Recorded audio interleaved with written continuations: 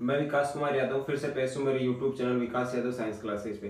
दोस्तों, आज हम बात करने वाले हैं कंपोनेंट्स ऑफ़ फ़ूड के लास्ट टॉपिक के बारे में, जिसका नाम है मिनरल्स खनिज तत्व। दोस्तों, अभी तक अपन ने बात कर ली कार्बोहाइड्रेट के बारे में प्रोटीन के बारे में फैट्स के बारे में विटामिन के बारे में। अब जो अपना लास्ट टॉपिक आता है, वो है अपना मिनरल्स तो आज बात करने वाले हैं मिनरल्स के बारे में। अच्छा दोस्तों मिनरल्स टॉपिक स्टार्ट करने से मैं बता दूँ पहले कि मिनरल्स क्या होता है। दोस्तों, जैसे एनर्जी प्रोडक्शन के लिए आपके कार्बोहाइड्रेट फैट और प्रोटीन की आवश्यकता होती है, उसी प्रकार से बॉडी की बहुत सारी एक्टिविटीज़ को कंट्रोल करने के लिए या फिर बहुत सारी एक्टिविटीज़ में में हेल्पफुल रहने के लिए किसी ना किसी एलिमेंट्स की आवश्यकता होती है, कोई ना कोई तत्व की आवश्यकता होती है। ऐसे में जो तत्व होते हैं, उन्हें मिनरल्स की संख्या दी जाती है। तो आज बात करने वाले हैं मिनरल्स के बारे में देखते देखते हैं देखते हैं दोस्तों। बात करते हैं, शरीर का कितना प्रतिशत एग्ज़ाम में क्वेश्चन आता है, शरीर का कितना प्रतिशत योगदान जो होता है, वो खनिज तत्वों का होता है। मतलब बॉडी के कुल वेट का या टोटल वेट का, अपन बोल सकते हैं, जो भी होते हैं जो पोषक पदार्थ होते हैं, उनका कितना प्रतिशत जो योगदान होता है, वो क्या होता है मिनरल्स का होता है। तो फोर परसेंट जो योगदान जो होता है, चार परसेंट जो योगदान होता है, वो किसका होता है मिनरल्स का होता है। बॉडी के टोटल जो प्रोडक्ट होते हैं, जो मतलब फ़ूड होता है, उसका फोर परसेंट क्या होता है मिनरल्स की रिक्वायरमेंट रहती है बॉडी को। आगे बात करते हैं कुल नेसेसरी मिनरल्स कौन कौन कितने होते हैं? टोटल नेसेसरी मिनरल्स होते हैं मतलब कितने आवश्यक खनिज तत्वों की आवश्यकता होती है, वो होती है लगभग समथिंग समथिंग क्या होती है? ट्वेल्व होती है।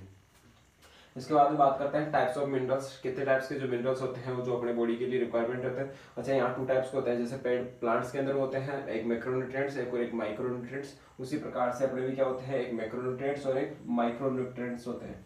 अच्छा बात करते हैं दोस्तों मैक्रो न्यूट्रिएंट्स जो होते हैं, इनकी शरीर को ज़्यादा मात्रा में आवश्यकता होती है, जबकि माइक्रो न्यूट्रिएंट्स होते हैं, इनको शरीर की, शरीर में कम मात्रा में आवश्यकता होती है। अच्छा बात कर लेते हैं कौन कौन से मैक्रो न्यूट्रिएंट्स में आते हैं कौन कौन से माइक्रो न्यूट्रिएंट्स में आते हैं। सबसे पहले देखा आपका क्लोरीन है, आपका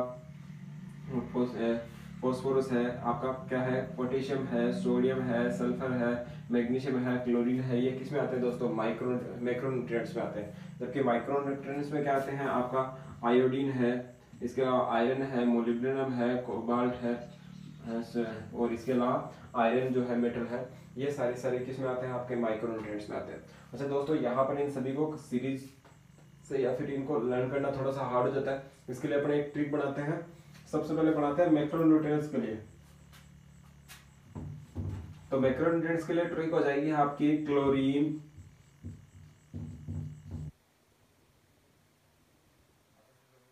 लिख सकते हैं क्लोरीन या आप करण वर्ण कुछ भी बोल सकते हैं कि क्लोरीन पीकर नाना से मांगे कन्या। क्लोरीन जो है, या क्लोरीन वर्ड नहीं ले तो आप यहाँ सीधा ये भी ले सकते हैं।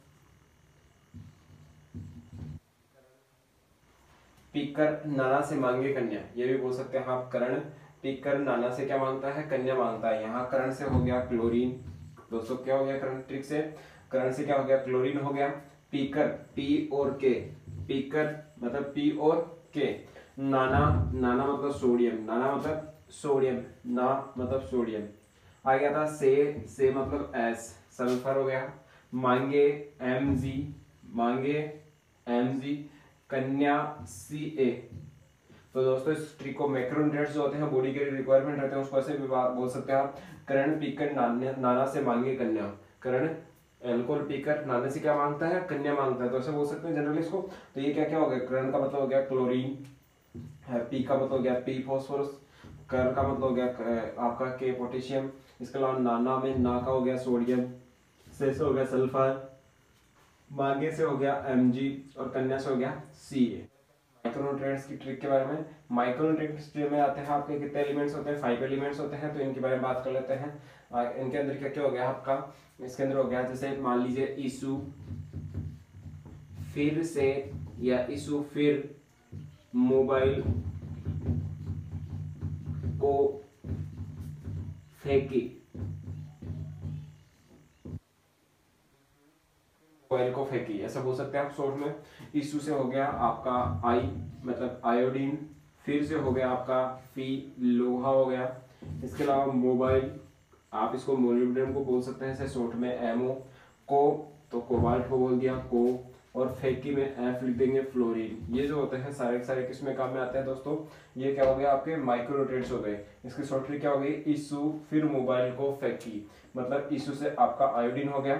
फिर फिर से हो गया आपका आयरन हो गया मोबाइल से क्या हो गया आपका मोनिब्लेडम हो गया, इसके अलावा आपका इससे कोस से क्या हो गया सीओ कोपर हो गया सॉरी कोबाल्ट हो गया, आगे फेकी से एफ़ हो गया। तो ये इस प्रकार से इनकी ट्रिक याद कर ली तो दोस्तों, एक बार रिपीट कर लेते हैं कि खनिज पदार्थ जो होते हैं, उनका जनरल इन्फॉर्मेशन क्या होता है। फिर इस अगले वीडियो में अपन क्या पढ़ेंगे? अगले वीडियो में पढ़ेंगे अपन कि कौन सा एलिमेंट्स होता है कौन सा मिनरल जो होता है मिनरल वाला जो एलिमेंट है कौन सा एलिमेंट्स जो होता है, किस काम में आता है, शरीर के अंदर कौन से एक्टिविटीज़ शो करता है। तो यह बात कर लेते शरीर का कितना प्रतिशत जो होता है, खनिज तत्वों का योगदान होता है, चार प्रतिशत योगदान किसका होता है, खनिज तत्वों का होता है। चाहे टोटल कितने खनिज पदार्थ आवश्यक होते हैं शरीर में, लगभग लगभग बारह होते हैं। टाइप्स ऑफ़ मिनरल्स कितने होते हैं? टू टाइप्स के होते हैं, एक माइक्रोन्यूट्रिएंट्स और एक माइक्रोन्यूट्रिएंट्स माइक्रोन्यूट्रिएंट्स कौन कौन आपके क्लोरीन फास्फोरस आपका ये हो गया। पोटेशियम, सोडियम, सल्फ़र, मैग्नीशियम और क्लोरीन, सॉरी, कैल्शियम। इसके अलावा माइक्रोन्यूट्रिएंट्स में आता है आपके आयोडीन है आयरन है, मोलिब्डेनम है, कोबाल्ट है, और इसके अलावा आपका फ्लोरीन है। दोस्तों, अब बात करते हैं इंपॉर्टेंट मिनरल्स के बारे में कौन कौन से ऐसे इंपॉर्टेंट एलिमेंट्स हैं, जिनकी शरीर को ज़्यादा मात्रा में रिक्वायरमेंट रहती है। अच्छा फ़र्स्ट है आपका सोडियम। सबसे पहले बात करते हैं सोडियम के बारे में। किसके बारे में दोस्तों? सोडियम के बारे में। अच्छा सबसे पहले बात करते हैं इसके सोर्सेज क्या होते हैं। सोर्सेज जो हो गया आपके कॉमन साल्ट हो गया सादा नमक हो गई फ़िश हो गई या फिर जो आपके एक्वेटिक एनिमल्स होते हैं, या फिर अपन बोल सकते हैं जो मेरीन एनिमल्स हो, वो सारे सारे किसमें आते हैं आपके सोडियम से रिलेटेड है। इसका रीज़न ये होता है कि समुद्र के अंदर ज़्यादा मात्रा में क्या पाया जाता है? सोडियम की मात्रा पाई जाती है। इस मीन्स क्या होता है इससे कि उन जीवों के अंदर सोडियम की मात्रा भी ज़्यादा पाई जाती है। अच्छा बात करते हैं आगे। कार्य के बारे में। शरीर के अंदर सोडियम की क्या इम्पोर्टेंस है? तो बात कर लेते हैं इम्पोर्टेंस क्या है इसका? ये क्या करता है? तंत्रिका आवेगों का संचरण करता है। मतलब जो इम्पल्स होते हैं नर्व सेल्स के अंदर, उनको एक सेल से सेकंड सेल्स तक मतलब फ़र्स्ट सेल से अनदर सेकंड सेल्स तक क्या करता है? ये ट्रांसफ़र करने का काम करता है। इसके अलावा क्या करता है? ये एसिड एंड बेस जो होते हैं एसिड बेस का जो बैलेंस एसिड बेस को बैलेंस करने का काम करता है। इस मीन्स आप ये बोल सकते हैं पीएच मान रेगुलेट का काम करता है। अम्ल सार को संतुलन करना इस मीन्स पीएच मान को कांस्टेंट रखने का काम भी क्या होता है? इसी का काम होता है। आगे बात करते हैं वाटर बैलेंस का काम करता है जल संतुलन का काम भी कर, करता है। इसके अलावा बात करें पेशियों में संकुचन जो होता है आपकी जो मसल्स होती है मसल्स के अंदर कंट्रक्शन जो होता है उसको या रिफ्लेक्शन जो होता है उस चीज़ को कंट्रोल कौन करता है? आपका सोडियम कंट्रोल करता है उस चीज़ को। अच्छा बात करते हैं संबंधित रोग इनसे अगर सोडियम की डिफिशियंसी अगर बॉडी के अंदर हो जाती है तो डिफिशियंसी से क्या क्या इफ़ेक्ट बॉडी पे पड़ते हैं? तो उनको अपन लिखते हैं संबंधित रोग। तो क्या क्या डिफिशियंसी से इफ़ेक्ट पड़ेंगे बॉडी पे? सबसे पहला है आपका हाइपोटेंशन अच्छा दोस्तों, दो वर्ड होते हैं साइंस में। एक होता है हाइपर और एक होता है हाइपो हाइपर का मतलब होता है अधिक होना दोस्तों हाइपर का मतलब अधिक होना, जबकि हाइपो का मतलब क्या होता है? कम होना। तो यहाँ हाइपो हाइपो का मतलब कम होना। तो हाइपर टेंशन मतलब निम्न रक्तचाप, या फिर अपन बोल सकते हैं सेकंड लैंग्वेज में लो ब्लड प्रेशर भी बोल सकते हैं तो लो ब्लड प्रेशर क्या होता है? सोडियम की डिफिशियंसी से होता है। किसकी वजह से होता है सोडियम की डिफिशियंसी से क्या होता है? लो ब्लड प्रेशर या फिर हाइपोटेंशन होता है। इसके बाद बात करते हैं सेकंड डिज़ीज़ जो होती है एडिसन डिज़ीज़ ये बहुत इंपॉर्टेंट है। ये कई बार कंपटीशन एग्ज़ाम में पूछी गई है। एडिसन डिज़ीज़ जो क्या होती है, देखो। कई बार क्या होता है, जो भी यूरिन जो होता है वुमेंस के, उसके यूरिन के साथ में क्या होता है एसेक्ट्रम अमाउंट में मतलब ज़्यादा अमाउंट में क्या होता है सोडियम का निष्कासन हो जाता है। ऐसी वाली कंडीशन में क्या होता है बॉडी के अंदर सोडियम की डिफिशियंसी आ जाती है और जो वाटर जो बैलेंस है वो नहीं हो पाता। और इस इस मीन्स क्या होगा, जो ज़्यादा अमाउंट में क्या होगा वाटर भी क्या हो जाएगा बॉडी से रिलीज़ हो जाएगा। और वाटर की डिफिशियंसी हो जाएगी, इसमें शरीर के अंदर क्या होगा? डिहाइड्रेशन प्रोसेस हो जाएगी, शरीर में क्या हो जाएगा? निर्जलीकरण हो जाएगा। और ऐसी कंडीशन में क्या होता है? इंसान मर भी जाता है। तो अपन बात करते हैं एडिसन रोग का मतलब होता है मूत्र के साथ में अधिक मात्रा में सोडियम का निष्कासन होना और निष्कासन के कारण क्या होता है? निर्जलीकरण हो जाता है। क्या हो जाता है? निर्जलीकरण हो जाता है। शरीर से अत्यधिक मात्रा में जल का बाहर निकलना। ऐसी वाली कंडीशन में क्या होता है? व्यक्ति की मृत्यु तक हो जाती है। तो एडिसन रोग मृत्यु तक भी कंडीशन को ले जाता है। आगे बात करते हैं, यहाँ तक हो गए किसके? सोडियम के बारे में बात करी। अब बात करते हैं पोटेशियम के बारे में। किसके बारे में बात करते हैं? पोटेशियम के बारे में। अच्छा पोटेशियम के सोर्सेज क्या होते हैं? सोर्सेज में मैंने दोस्तों यहाँ लिखा है सेम हीयर और सेम हीयर का मतलब इसी के समान है। किसके समान है? सोडियम के समान है। उससे इसके भी जो सोर्सेज हो गए, क्या हो गए? साथ कॉमन कॉमन आपका कॉमन साल्ट हो गया फ़िश हो गई, या फिर आपके एक्वेटिक एनिमल्स हो गए। इसके बाद बात करें फ़ंक्शन जो होता है फ़ंक्शन भी क्या होता है? इसके सेम ही होते हैं। इस मीन्स आपका तंत्रिका आवेगों का संचरण हो गया एसिड एंड बेस बैलेंस हो गया वाटर बैलेंस हो गया, या फिर मसल्स जो होते हैं, उनके अंदर क्या होता है? मसल्स के कंस्ट्रक्शन सॉरी कंस्ट्रक्शन और रिडक्शन में हेल्प करना। उसके बाद बात करते हैं संबंधित रोग कौन कौन से होते हैं? संबंधित रोग जो होते हैं दोस्तों, मांसपेशियों में ऐठन मांसपेशियों के ऐठन के अंदर ऐठन आना या फिर भूख न लगना। ऐसी जो कंडीशन होती है। ज़्यादातर इसमें लॉस ऑफ़ एटीट्यूड होता है, भूख न लगना। तो भूख न लगने वाली ज़्यादा मेन कंडीशन होती है इसके अंदर। तो इस प्रकार से अपने दो एलिमेंट्स के बारे में बात करती बात कर ली। अब बात करते हैं नेक्स्ट थर्ड एलिमेंट के बारे में। नेक्स्ट एलिमेंट है अपना आयरन तो उससे किसकी बात कर रहे हैं? आयरन इसका जो सिंबल होता है, वो एफ़ होता है। अब बात करते हैं आयरन के सोर्सेज क्या होते हैं? आयरन का सोर्सेज जो है, केरुंदा है, पालक है, यकृत है, अनाज है, अंडे है, ये सारी चीज़ों में क्या पाया जाता है? आयरन पाया जाता है। अच्छा एग्ज़ाम में क्वेश्चन आता है जेट एग्ज़ाम में सबसे ज़्यादा जो आयरन की मात्रा होती है, किसमें पाई जाती है? तो सबसे ज़्यादा आयरन जो पाया जाता है वो केरुंदा के अंदर पाया जाता है। केरुंदा एक फ्रूट है, ठीक है? तो केरुंदे के अंदर सबसे ज़्यादा क्या पाया जाता है? आयरन की मात्रा पाई जाती है, उसके बाद सेकंड नंबर पे जो होता है, पालक के अंदर क्या पाई जाती है? सबसे ज़्यादा आयरन की मात्रा पाई जाती है। तो दोस्तों, यहाँ याद रहे, सबसे ज़्यादा आयरन की अमाउंट किसमें होती है? केरुंदे के अंदर होती है। उसके बाद में बात करते हैं फ़ंक्शन क्या होता है आयरन का? आयरन का फ़ंक्शन होता है हीमोग्लोबिन निर्माण करना। वो रक्त के अंदर या आरबीसी के अंदर हीमोग्लोबिन फॉर्मेशन का काम करता है। इसके अलावा साइटोक्रोम जो होता है ये एक प्रकार से इलेक्ट्रॉन ट्रांस इलेक्ट्रॉन रिसीवर है, ये प्लांट्स के अंदर होता है। ये प्लांट्स के अंदर पाया जाता है, ये ह्यूमन बॉडी के अंदर पाया जाता है। तो दोनों के फॉर्मेशन का काम कौन करता है आपका? आपका आयरन ही करता है। इसके बाद में बात करते हैं आयरन से संबंधित रोग कौन कौन से होते हैं? अगर बॉडी के अंदर अगर आयरन की कमी हो जाए, उस समय कौन कौन से रोग हो जाते हैं? सबसे पहले तो मैं बात कर दूँ, आपको आयरन की आवश्यकता महिलाओं को ज़्यादा होती है। प्रेग्नेंट लेडीज़ जो होती है, उनके बॉडी के अंदर आयरन की डिफिशियंसी बहुत ज़्यादा पाई जाती है। तो आयरन की आवश्यकता जो होती है, महिलाओं को ज़्यादा होती है। अब बात करते हैं संबंधित डिज़ीज़ के बारे में। संबंधित रोग जो है एनीमिया है, या रक्त की कमी है, या अल्प रक्तता है, जिसे अपन खून की कमी बोलते समय एनीमिया रोग जो होता है वो आयरन की कमी से होता है। अच्छा इसके अलावा भूख न लगना, इसके अलावा क्या बोल सकते हैं? भूख न लगना, या फिर थकावट महसूस होना, बार बार थकावट महसूस होना, या फिर भूख न लगना, ये भी क्या किसकी कमी से होते हैं? आयरन की कमी से होते हैं। अच्छा बात करते हैं सेकंड इसका जो रोग है वो रक्त द्वारा ओ टू वहन करने की क्षमता में कमी आना। मतलब अपन जानते हैं हीमोग्लोबिन जो होती है ऑक्सीजन को अटैच करके क्या करती है ब्लड के साथ में उसको ट्रांसफ़र करवाने का काम करती है। अगर बॉडी के अंदर हीमोग्लोबिन की मात्रा अगर कम हो गई तो क्या होगा? ऑक्सीजन जो ट्रांसफ़र होने वाली है, उसकी अमाउंट क्या हो जाएगी? कम हो जाएगी। इसका मतलब जो ब्लड है, उसकी कैपेसिटी कम हो जाएगी ऑक्सीजन को क्या करे? ट्रांसपोर्ट कर सके। तो उसमें कमी आ जाती है। इसका अलावा एक नोट में बात करते हैं कि पूरी टोटल बॉडी के अंदर जो आयरन होता है, वो कितने अमाउंट प्रेजेंट होता है? तो दोस्तों ध्यान रहे, एक किल जितना होता है, एक आयरन नेल जो होती है आयरन नेल जितना जो लोहा होता है, वो अपनी बॉडी ह्यूमन बॉडी के अंदर प्रेजेंट होता है। अच्छा बात करते हैं अपने आयरन की बात कर ली। फोर्थ एलिमेंट जो है अपना, वो है आयोडीन कौन सा है दोस्तों? आयोडीन आयोडीन की बात करते हैं। आयोडीन जो होता है, इसके सोर्सेज क्या होते हैं? सोर्सेज इसके एक्वेटिक एनिमल्स जो होते हैं, या फिर आपके जैसे पनीर है, या फिर आपका जैसे साल्ट है मतलब साधारण नमक भी बोल सकते हैं। साधारण नमक के अंदर भी इसकी मात्रा पाई जाती है। नमक जो पाया जाता है।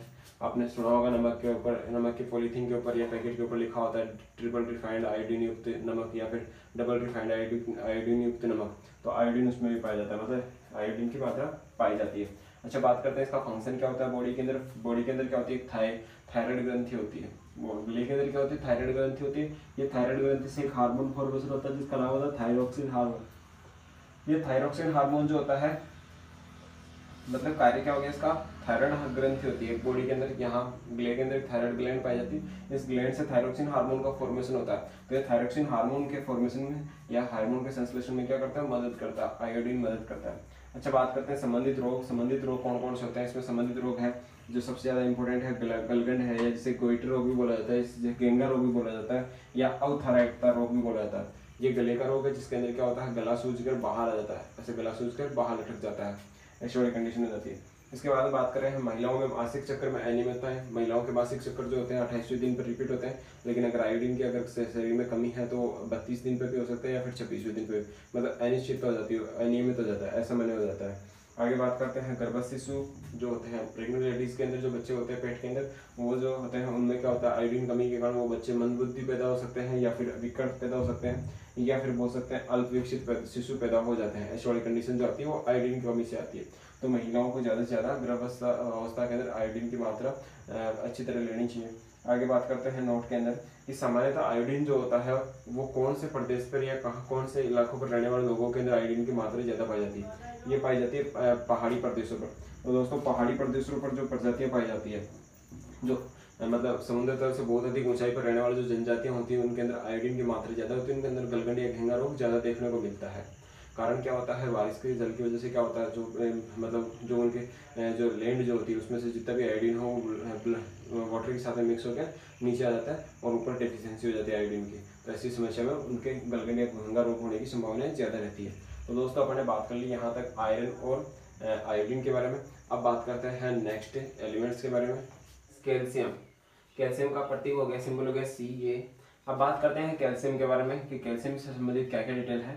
तो बात करते हैं सबसे पहले सोर्सेज सोर्सेज कैल्शियम सबसे ज़्यादा किसमें पाया जाता है? आपके फ्रूट्स हैं, सब वेजिटेबल्स हैं, आपके मिल्क है। दूध में दूध और छाछ, जो मक्खन घी जो होता है, इनमें सबसे ज़्यादा कैल्शियम पाया जाता है। पनीर में है, पनीर में सबसे ज़्यादा कैल्शियम पाया जाता है। तो मांस है, अंडा है, दालें हैं, इन सभी के अंदर कैल्शियम पाया जाता है। सारे के सारे कैल्शियम के सोर्सेज है आगे बात करते हैं फ़ंक्शन क्या होता है कैल्शियम का? देखो दोस्तों, ये कैल्शियम का फ़ंक्शन जो होता है, ये ब्लड क्लोटिंग के अंदर हेल्प करता है। किसके अंदर हेल्प करता है? ब्लड क्लोटिंग आपको पता हो तो ब्लड क्लोटिंग जो फैक्टर होते हैं, वो थर्टीन होते हैं। तेरह ऐसे कारक हैं जो क्या करते हैं ब्लड क्लोटिंग में हेल्प करते हैं। उनमें कैल्शियम भी एक है। तो ब्लड क्लोटिंग में हेल्प हेल्पफुल है। इसके अलावा एंजाइमों के स्त्राव में सहायक होता है। एंजाइमों के रिलीजिंग रिलीजिंग में क्या होता है, ये सिक्रेशन में क्या करता है हेल्प करता है। इसके अलावा आप जानते हैं कि अपने जो टीथ या जो बोन्स बोन्स जो फॉर्म होती है, वो कैल्शियम और फॉस्फेट से बोन होती है। कैल्शियम और फॉस्फेट से बोन होती है। तो कैल्शियम जो होता है, वो दांतों को और अस्थियों के निर्माण में सहायक होता है। दांतों का जो इनिमल बनता है दांतों का जो इनिमल बनता है, वो भी कैल्शियम और फोस्फेट से बनता है। तो कैल्शियम और फोस्फेट दोनों मिलकर क्या करते हैं? अस्थि और दांतों का निर्माण करने का कार्य करते हैं, या निर्माण में सहायक होते हैं। आगे बात करते हैं पेशी संकुचन में सहायक होते हैं। अच्छा बात करते हैं मसल्स जो होती है, उनके अंदर टू टाइप्स की प्रोटीन होती है एक्टिन और मायोसिन कौन कौन सी प्रोटीन होती है? एक्टिन और मायोसिन एंड मसल्स के अंदर जो पाई जाती है, आपकी जो, जिसको क्या बोलते हैं अपन?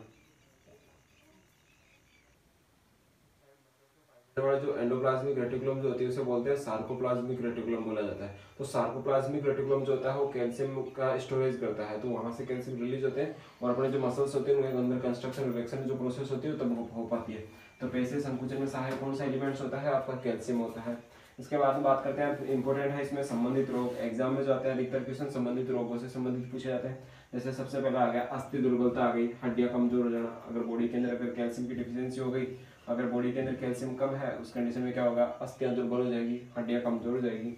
इसके अलावा ओस्टियोपोरोसिस है। ओस्टियोपोरोसिस का मतलब होता है, जैसे मान लीजिए कोई बोन्स है। सपोज़ दैट जैसे ये मान लीजिए कोई बोन्स बना दिए पड़े इस बोन्स में से अगर कैल्शियम आयन को अगर क्या कर दिया जाए, अगर हटा दिया जाए तो क्या हो जाएगा? बोन्स के अंदर क्या हो जाएँगे? होल हो जाएँगे। ऐसे वाली कंडीशन में उस रोग को बोला जाता है ओस्टियोपोरोसिस ओस्टियो मतलब हड्डी, पोर मतलब छिद्र होता है P O R E P O I pore मतलब होल होता है। तो ओस्टोपोरोसिस मतलब हड्डियों में छिद्र होना, ये भी कैल्शियम की कमी से होता है। आगे बात करते हैं अस्थि भंगुरता, जब हड्डियाँ कमज़ोर हो जाती है तो इतनी कमज़ोर हो जाती है हड्डियाँ जल्दी से टूटना स्टार्ट हो जाती है। तो अस्थि भंगुरता हो गया। आगे बात करते हैं हृदय स्पंदन में अनियमितता ये क्या करता है? कैल्शियम जो होता है, ये हार्ट जो स्पीड सॉरी हार्ट जो बीट होती है, उसको भी सही तरीके से रेगुलेट करता है। लेकिन अगर कैल्शियम की बॉडी के अंदर अगर डिफिशियंसी हो गई, उस कंडीशन में क्या होगा? ये क्या करेगा? हृदय स्पंदन में क्या आ जाएगी? अनियमितता आ जाएगी। यहाँ तक बात कर ली अपनी कैल्शियम के बारे में दोस्तों। किसके बारे में बात कर ली? कैल्शियम के बारे में। अब बात करते हैं फॉस्फोरस के बारे में। किसके बारे में? फॉस्फोरस के बारे में। फॉस्फोरस को अपन डिनोट करते हैं पी से। किसे डिनोट करते हैं? पी से। अच्छा बात करते हैं इसके सोर्सेज कौन कौन से हैं? सोर्सेज ये सेम ही रहेंगे मतलब फल है, सब्ज़ियाँ हैं, दूध है, मांस है, अंडा है, दालें, ये सारे सारे क्या पाए जाते हैं इनके अंदर? फॉस्फोरस प्रेजेंट होता है। अच्छा बात करते हैं कार्यों के बारे में। दोस्तों, कार्यों के अंदर क्या क्या होता है? ये सेम मैंने कहा था, ये कैल्शियम और फॉस्फेट जो होते हैं, दांत निर्माण में और अस्थि निर्माण में मददगार होते हैं। इसी प्रकार से अस्थि और दांतों के निर्माण में सहायक होता है। यहाँ पर भी क्या पड़ा फॉस्फोरस जो होता है? वो बोन्स और जो टीथ होते हैं, उनके फॉर्मेशन में हेल्प करता है। आगे बात करते हैं इंपॉर्टेंट आता है डीएनए और आरएनए के संश्लेषण में। डीएनए और आरएनए जो होता है, उसका संश्लेषण जो होता है सिंथेसिस जो होती है। डीएनए और आरएनए सिंथेसाइज होता है, वो किसके वजह से होता है? ये होता है आपके फॉस्फोरस की वजह से होता है। इसके बाद बात करते हैं संबंधित डिज़ीज़ कौन कौन सी है? मतलब फॉस्फोरस से रिलेटेड डिज़ीज़ कौन कौन सी होती है? फॉस्फोरस से रिलेटेड डिज़ीज़ है अस्थियों दांतों का दुर्बलता, अस्थियों दांतों की दुर्बलता। अगर बॉडी के अंदर कैल्शियम सॉरी बॉडी के अंदर अगर फॉस्फोरस की डिफिशियंसी आ गई तो दांत या जो बोन्स होती है, वो कमज़ोर हो जाती है। इसके बाद शारीरिक कमज़ोरी होना वीकनेस आना बॉडी बॉडी के अंदर वीकनेस आना, ये सारे जो होते हैं किससे संबंधित रोग होते हैं? फॉस्फोरस से संबंधित रोग होते हैं। नेक्स्ट बात कर लिया अपन ने कैल्शियम के बारे में, अब फॉस्फोरस के बारे में, अब बात करते हैं लास्ट इसमें मैग्नीशियम के बारे में। अब बात करते हैं अपन मैग्नीशियम के बारे में। मैग्नीशियम को जो होता है, इसका जो सिंबल होता है वो एम जी होता है। अब बात करते हैं मैग्नीशियम के सिंबल के बारे में, इसके सोर्सेज क्या होते हैं? सोर्सेज जो होते हैं सेम ईयर है मतलब वही है फल, सब्ज़ियाँ, दूध, मांस, अंडा, दालें जो होती हैं, सारे सबके सबके अंदर क्या पाया जाता है? मैग्नीशियम प्रेजेंट होता है। अब बात करते हैं मैग्नीशियम के यूजेस क्या क्या होते हैं बॉडी के अंदर या फिर प्लांट्स के अंदर या एनिमल्स के अंदर क्या क्या और इसके फ़ंक्शन होते हैं। तो बात करते हैं ये फोटोसिंथेसिस में हेल्पफुल होता है। प्रकाश संश्लेषण में सहायक होता है। प्रकाश संश्लेषण में सहायक इसलिए है क्योंकि ये क्लोरोफिल का फॉर्मेशन करता है। किसका निर्माण करता है दोस्तों? क्लोरोफिल का निर्माण करता है, इसलिए इसको बोल सकते हैं कि फोटोसिंथेसिस में हेल्पफुल होता है। तो याद रहे दोस्तों क्लोरोफिल निर्माण भी क्या करता है? मैग्नीशियम करता है और प्रकाश संश्लेषण में सहायक भी गुण होता है। आपका मैग्नीशियम होता है। इसके अलावा बात करें उपापची क्रियाएँ जो होती है, शरीर की जितनी मेटाबोलिक मेटाबोलिक रिएक्शन होती है, शरीर की जितनी मेटाबोलिक मेटाबोलिक रिएक्शन होती है, उनको सबको कौन कंट्रोल करता है? आपका मैग्नीशियम कंट्रोल करता है। इसके बाद बात करते हैं पेशियों, तंत्रिका कोशिकाओं का नियंत्रण। आपकी जो मसल्स होती है या फिर जो न्यूरल सेल्स होती है उन पर भी क्या करता है? उन पर भी कंट्रोल करने का काम करता है उन सेल्स पे। मतलब मसल सेल्स पे और न्यूरल सेल्स पे क्या करता है? ये कंट्रोल करता है, आपका मैग्नीशियम कंट्रोल करता है। इसके बाद बात करते हैं, इसके इम्पोर्टेंट एक और है राइबोसोम जो होता है राइबोसोम जो होता है राइबोसोम की जो सब यूनिट्स होती है, वो होती है आपकी पचास सॉरी जैसे बात करते हैं राइबोसोम की इकाइयाँ होती है, दो होती है, सत्तर एस और अस्सी एस। इसके अलावा उनकी इकाइयाँ होती है, तीस एस, सत्तर एस की इकाइयाँ उप होती है, तीस एस और पचास एस। इसके अलावा अस्सी एस जो राइबोसोम होता है, उसकी उप इकाइयाँ होती है, साठ एस और चालीस एस। तो इन उप इकाइयों को जोड़ने का काम जो होता है, किसके द्वारा किया जाता है? मैग्नीशियम के द्वारा। किसके द्वारा किया जाता है दोस्तों? मैग्नीशियम के द्वारा। तो राइबोसोम की जो यूनिट्स जो होती है, उप इकाइयाँ जो होती है, उनको आपस में जोड़ने का काम कौन करता है? मैग्नीशियम करता है। ये बातें अपन कोशिका के सेल के बारे में या राइबोसोम के बारे में पढ़ेंगे, तब वो डिटेल से पढ़ेंगे कैसे क्या इनको जोड़ता है या कौन कौन सी यूनिट होती है उनमें। आगे बात करते हैं, संबंधित रोग जो होते हैं कौन कौन से होते हैं? संबंधित रोग जो होते हैं मैग्नीशियम की वजह से, ये होता है उपापची क्रियाओं का जो ना अनियमित होना मतलब मेटाबॉलिक रिएक्शन जो होती है बॉडी के अंदर उनका अपन बोल सकते हैं इम्बेलेंस होना। इसके अलावा बात करें अपन जैसे, पैसे जो तंत्रिका जो कोशिकाएँ होती है, उन पर नियंत्रण हटना। तो उनसे भी क्या होता है, वो सब मतलब उन पर कंट्रोल न रहना। ये सारे जो फ़ंक्शन होते हैं सॉरी सारी जो डिज़ीज़ है, वो किससे संबंधित है? मैग्नीशियम से संबंधित है। दोस्तों, अपन ने अभी तक बात कर ली, पाँच छः जो भी सात एलिमेंट्स के बारे में। अब कुछ इंपॉर्टेंट एलिमेंट्स हैं जिनके बारे में और बात करते हैं आगे। हैं मिनरल्स के बारे में, अब बात बात आती है कॉपर के बारे में। कुछ ऐसे ऐसे हैं मिनरल्स हैं जो क्या होता है, एक दूसरे से सिमिलर होते हैं, इसलिए उनको साथ लिख दिया मैंने। जैसे कॉपर हो गया आपका जिंक हो गया कोबाल्ट हो गया, इनके आपके प्रतीक चिन्ह दे रखे हैं। कॉपर को सीओ से डिनोट करते हैं, जबकि जिंक को जेड से करते हैं कोबाल्ट को सीओ से डिनोट करते हैं। ये तो आप जानते होंगे। अब बात करते हैं स्रोत के बारे में सोर्सेज जो होते हैं, ये होते हैं अनाज के अंदर, दूध के अंदर, मांस के अंदर, अंडा, फल या सब्ज़ियाँ। इन सभी के अंदर क्या पाए जाते हैं आपके? कॉपर जिंक और कोबाल्ट उपस्थित होती है। आगे बात करते हैं कार्य। कार्य सारे सभी के सिमिलर है, इसलिए मैंने एक साथ लिख दिया। सभी के अंदर कार्य जो होते हैं प्रोटीन व एंजाइमों का निर्माण करने में सहायक होते हैं। सभी सभी क्या करते हैं ये? एंजाइम और प्रोटीन निर्माण का सहायक, निर्माण करने में सहायक होते हैं। जैसे आपका जिंक जो है, वो इंसुलिन निर्माण में सहायक है। एग्ज़ाम में जेट एग्ज़ाम में क्वेश्चन आता है जिंक इंसुलिन निर्माण में सहायक होता है। किसने, कौन से, किसके निर्माण में? इंसुलिन निर्माण में सहायक होता है। या फिर पादपों के अंदर देखी जाए तो जिंक जो होता है, वो ऑक्सीजन हार्मोन निर्माण में मदद करता है। किस हार्मोन के निर्माण में मदद करता है? ऑक्सीजन हार्मोन का निर्माण करता है, दोस्तों। जिंक जो होता है, वो क्या करता है? ऑक्सीजन हार्मोन का निर्माण करता है, या फिर मानव के अंदर क्या करता है? इंसुलिन निर्माण का काम भी करता है। तो बात करते हैं इनके कार्य के बारे में, बात करते हैं कि प्रोटीन और जो एंजाइमों का जो निर्माण होता है, प्रोटीन और एंजाइमों के निर्माण में सहायक कौन होते हैं? कॉपर, जिंक और कोबाल्ट होते हैं। इसके बाद बात करते हैं संबंधित रोग जो होते हैं, संबंधित रोगों में आते हैं, जैसे भूख में कमी आना, भूख भूख में कमी आना मतलब भूख में लगना, या शारीरिक वृद्धि में कमी आना, शारीरिक मतलब शरीर की ग्रोथ सही तरीके से नहीं हो पाना। अच्छा बात करते हैं, इसके बाद में आता है अल्परक्ता मतलब शरीर के अंदर खून की कमी होना, ऐसे वाले संबंधित प्रॉब्लम हो जाती है। मैं बात करूँ वर्दी में कमी आना, क्योंकि ये जो तत्व होते हैं, जैसे जिंक तत्व है, वो क्या करता है? हार्मोनों के निर्माण में मदद करता है। अगर जैसे पीयूष ग्रंथि का अगर मान लीजिए वर्दी हार्मोन कम सिक्रेट हो रहा है तो उससे शारीरिक वर्दी रुक जाती है। इस चीज़ में क्या करता है? आपका जिंक मदद करता है। आगे एक नोट में क्वेश्चन बहुत बार रिपीट कंपटीशन एग्ज़ाम में पूछा गया कि विटामिन बी ट्वेल्व में कौन सी धातु उपस्थित होती है? विटामिन बी ट्वेल्व के अंदर कौन सी धातु उपस्थित होती है? वैसे विटामिन बी ट्वेल्व का नाम जो होता है साइनो कोबाल्ट एमिन होता है दोस्तों। क्या नाम होता है इसका? साइनो कोबाल्ट एमिन इसलिए इसके अंदर कोबाल्ट धातु प्रेजेंट होती है। क्या होती है दोस्तों इसके अंदर? कोबाल्ट धातु प्रेजेंट होती है। यहाँ तक बात कर लिया अपन ने इन तीन मेटल्स के बारे में। अब बात बात करते हैं सल्फ़र के बारे में। सल्फ़र को सामान्य अवस्था में गंधक भी बोला जाता है। क्या बोला जाता है दोस्तों? सल्फ़र को सल्फ़र या गंधक बोला जाता है। प्रतीक चिन्ह क्या हो गया? इसका एस हो गया। अब बात करते हैं सोर्सेज की। सोर्सेज जो होते हैं, अनाज है। अनाज में पाया जाता है मेथी होती है।